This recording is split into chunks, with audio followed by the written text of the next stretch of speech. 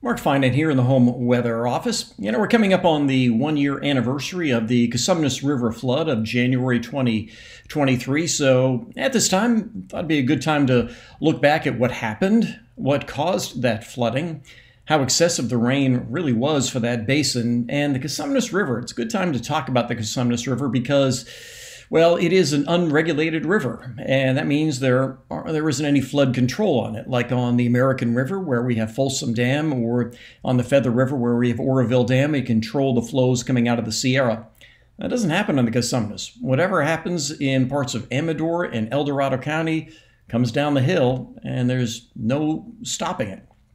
So part of the equation, of course, was the was the wet weather we had leading up to uh, New Year's Eve and New Year's Day. These were the rainfall totals that we had on New Year's Eve, 1231 22. Now, these are actually two day totals, but in Pollock Pines, we had over 12 inches of rain. In Placerville, more than 10, and Georgetown had 11. Now, a lot of that goes into the South Fork of the American, and I didn't find any reliable totals that came out of Amador County, but they were similar. And all of that comes down into the Cosumnes. Some of it, again, goes into the South Fork. But let me also show you this. So uh, this is a percentage of average precipitation for the month of December. Let me help you get your bearings here to see what you're looking at. So this is Lake Tahoe here, Sacramento, Modesto. So this area highlighted in this purplish color, this is where the Cosumnes River Basin is, right in here.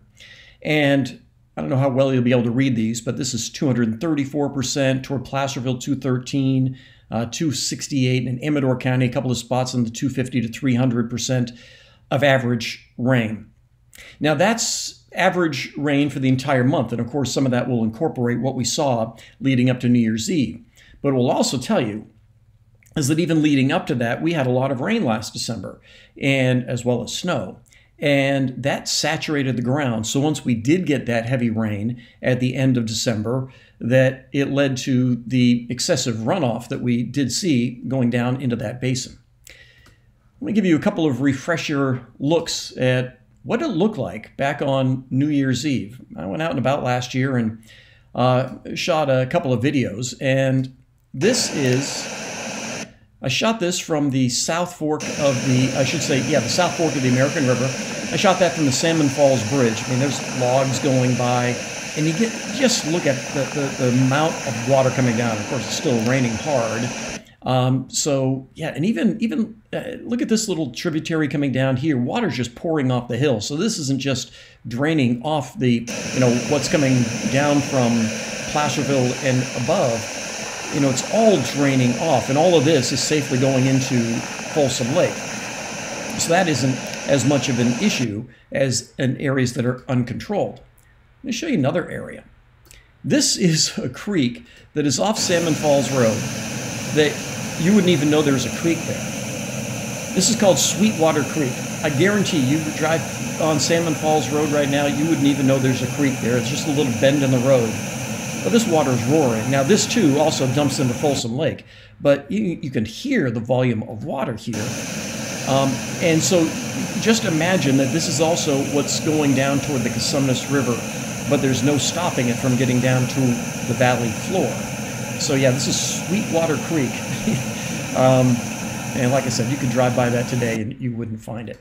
I got another one more video to show you. This is um, this is Cameron Park Drive. And this, uh, this is also indicative of some of the flooding that we saw. And again, this is on New Year's Eve 2022.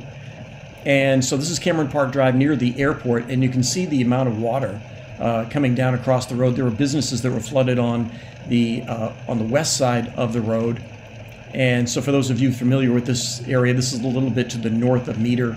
Um, and just as you're coming up to the airport, I'm driving south here. But you get the idea of just how much water there was that was that was flowing down uh, flowing down the hill and coming coming off the hills, if you will. And all of that was going to be leading to flooding. And and you knew that once it get down to the valley floor, that we were going to be seeing flooding. Now, it wasn't going to be uh, a surprise by any any stretch of imagination, uh, because all of this was forecast pretty well by the Flood Forecast Center. Let me show you the forecast for the Cosumnes River at Michigan Bar. If you don't know where Michigan Bar is, Michigan Bar is out by Rancho Murieta. Here we go. So this is the forecast that was put out on Saturday, December 31st, uh, first thing in the morning. The blue line is the forecast, and the green line is the actual. So not bad. They were forecasting to go up to around 17 feet. This line right here is 16.4. They're forecasting to about 16 and a half, almost 17. Flood stage is 12. It actually ended up uh, right around 16 even. And then, of course, it came down. That's a pretty high stage. Back in 1997, it did go a little over 18, I believe, or close to 18. All right. So there's that gauge. Now, farther downstream, there's this gauge. This is at a place called McConnell. It's basically at Highway 99. And this is the one that I want to pay the most attention to. Now, again, this is the forecast Saturday morning, December 31st. And right now it's at 43 feet. It's forecast to go to uh, about 47 feet right here. And then the actual was really close to that.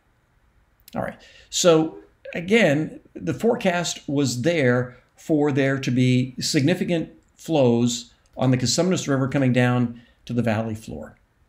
Now, the significance of that is that the amount of flooding that we saw in Wilton and that we saw on Highway 99 was forecast on the morning of December 31st, and the flooding that happened that night and the next day was forecast. I showed you the gauge at McConnell. Now, one of the things that's helpful about an area like the Cosumnes or any other river is the USGS and other water agencies are out there. They know what these high flows do from historical flows on those rivers. So, with that in mind, at the bottom of the gauge reading, you'll see this. This right here. So it says when that gauge hits 46.5 feet, at approximately 44,000 CFS, which we reached, actually exceeded. Um, Dillard Road is flooded. Um, to, from Highway 99 to Riley Road, Twin City Road is flooded from Hardesty Lane to Christensen Road. So we know that Highway 99 floods, we know the Dillard Road floods, we know the Twin Cities Road floods in those cases. So the flooding was predicted on those roads the thing that I still find frustrating is that people were driving into that water at night and first thing that morning on New Year's Eve, New Year's Day, and uh, and people lost their lives in that flooding. A tragic event um, that unfortunately wasn't. The full warnings weren't perhaps put out there that those roads would be underwater and just how deep that water might be. But it's a lesson that, that should have been learned from 1997. Those same roads went underwater.